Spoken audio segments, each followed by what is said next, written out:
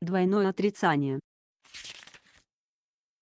Двойное отрицание – неспособность объективно оценивать прошлое и отказ смотреть в глаза настоящему сильно влияют на нашу сегодня литература. Литература. Писателю диктофона Галкина Валерия.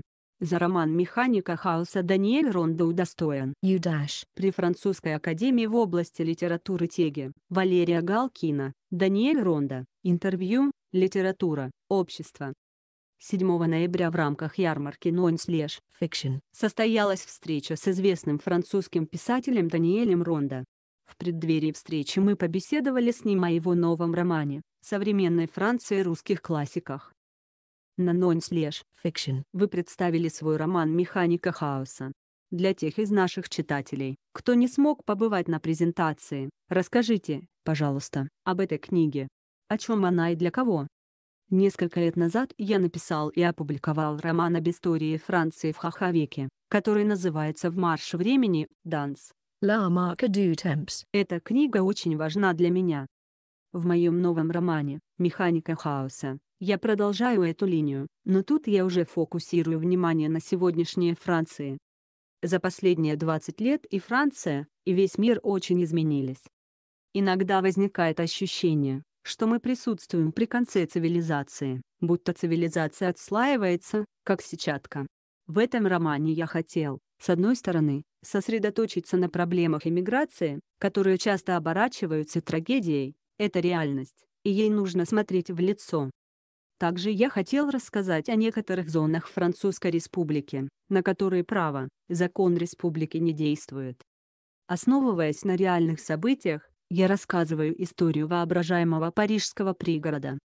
И там встречаются очень разные персонажи. Есть иммигранты, которые живут там давно. Есть, например, пожилой мудрый рабочий. Есть наркодилеры, которые как раз играют на взлете радикального ислама. Есть французский полицейский, который очень несчастен в браке. И журналистка, которая когда-то была звездой. Главные герои романа несколько молодых мигрантов, а повествование ведется от лица немолодого, очень культурно развитого археолога, чья фигура позволяет мне установить некоторую дистанцию между разными линиями романа. Таким образом, я пытаюсь перемешать разных персонажей и рассказать о реальности через художественный вымысел.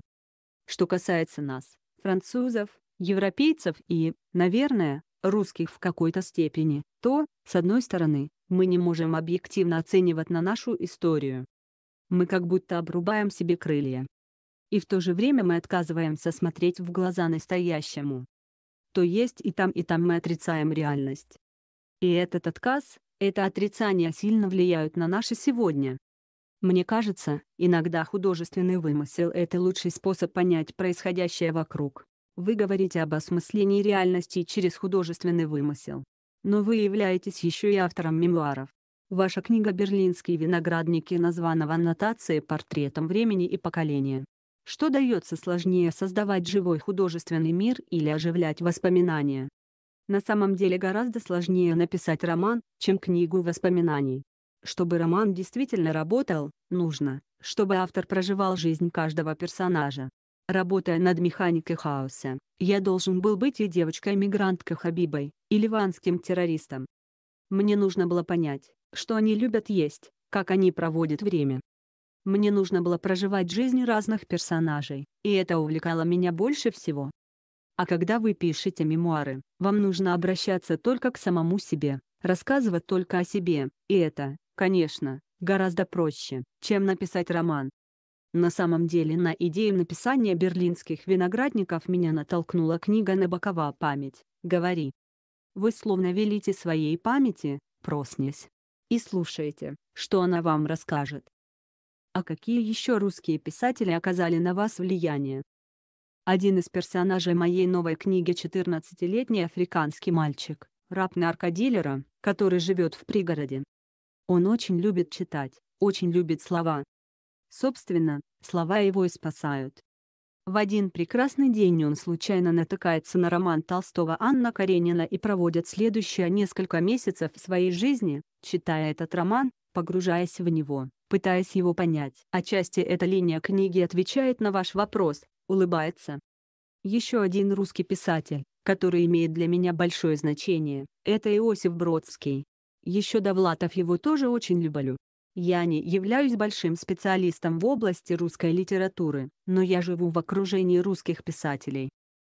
Какие из ваших книг, еще не переведенных на русский, могли бы быть интересны российскому читателю? Я думаю, роман «В марше времени», который я уже упомянул. Потому что русские все еще читают большие романы. Когда эта книга вышла, мне позвонил Мария Варгас Льоса, известный испаноязычный писатель из Перу, лауреат Нобелевской премии, а я даже не сразу понял, что это он звонит, потому что он никогда не представляется, и сказал со своим характерным испанским акцентом, «Слушай, Даниэль, а я и не знал, что ты пишешь новую войну и мир». Смеется. Мне кажется, эта книга могла бы заинтересовать русского читателя, потому что она рассказывает об истории Франции, о коммунистической партии, о том, как партийная элита жила в Париже и как проводила время в Москве. Вопрос к вам не только как к писателю, но и как к дипломату. Книжные ярмарки и другие крупные литературные события выполняют функции культурной дипломатии. Можно ли сказать, что в современном мире культурная дипломатия более эффективна, чем традиционная? Рассмотрим Европу от самого края Британии до края России, что объединяет все те народы, которые живут на этом пространстве. Их объединяют литература и религия. Все народы Европы читали литературу друг друга. Мы все читали Шекспира, мы все читали Данте, Гёте, Виктора Гюго, русских классиков. Литература сделала нас европейцами в полном смысле этого слова. Она определяет наш ум, наше сознание, наше восприятие реальности. Я говорил об этом с президентом Макроном. Макрон хочет укреплять связи с Россией, он прав, это действительно нужно сделать. Я сказал ему, что в этом вопросе особое внимание нужно уделить литературе. И когда я встречался с Солженицыным, он мне тоже говорил об этом. О том, что нужно создавать интеллектуальный духовный союз России и Европы, в котором литература и писатели играют первостепенную роль. Расскажите о встрече с Александром Солженицыным. Когда и при каких обстоятельствах она состоялась? Что вам запомнилось больше всего? Это было в Вермонте, в 1984 году. Я был единственным журналистом из печатных СМИ, кому удалось взять у него интервью. Я приехал к нему во второй половине дня. Солженицын жил в доме на отшибе, и пейзаж за окном очень напоминал русский. Он жил там со своей женой и детьми. И работал беспрерывно. У него был кабинет, где находился весь его архив. Он тогда как раз писал «Красное колесо», и многие люди отправляли ему разные документы. Все было распределено по стопкам, и этот порядок очень впечатлял. Еще запомнилось, что один из его сыновей играл на пианино. У меня было всего 45 минут, которые писатель согласился мне уделить. Он вообще не встречался с журналистами. Мы начали говорить, и я был удивлен, что в центре нашего обсуждения оказалась Европа. Ровно через 45 минут Солженицын слегка стукнул по столу и сказал, «Все, теперь мне нужно работать». Но я ответил, «Нет. Я приехал сюда и так быстро не уеду». Я продолжил задавать вопросы, и мы проговорили еще 45 минут. Два номера журнала «Либерасьон», «Либератион», для которого я брал интервью, вышли с нашей совместной фотографией на обложке беседа получилась очень длинной, и ее разделили на два выпуска. На самом деле для меня Александр Солженицын совершенно невероятный человек. Он воплощает собой свободу Европы. Мы должны сохранять не только наш образ жизни, но и беречь в себе вот этот светоч, это пламя свободы. На мой взгляд, Солженицыну это удалось. Эльга Досье Даниэль Ронда французский писатель, издатель, журналист и дипломат. Родился в 1948 году. По образованию юрист. Обучался юриспруденции в Нанси и Париже. Работал в крупнейших французских СМИ, таких как Либы, Ратион, Наувель, Observator, Ли Mund. и других.